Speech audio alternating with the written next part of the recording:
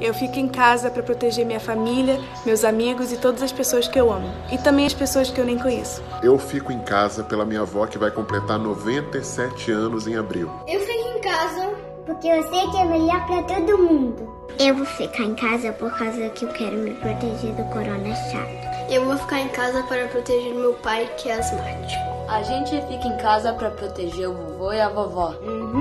Eu fico em casa pelos meus pais e meu padrasto. Eu fico em casa por solidariedade a todos os idosos e pessoas carentes. Eu fico em casa pela minha filha e pela melhora de todo mundo. Eu fico em casa pelo meu pai, que tem 85 anos, e pela minha mãe, que tem 82, e por todos os idosos. Eu fico em casa por amor ao próximo.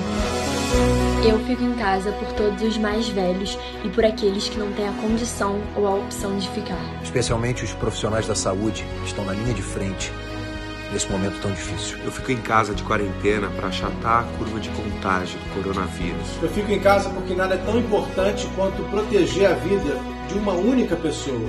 Eu fico em casa por causa de todos. Eu fico em casa porque só assim esse vírus vai passar.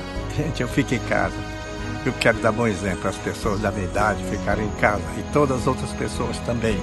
É isso aí, pessoal. Vamos ficar em casa.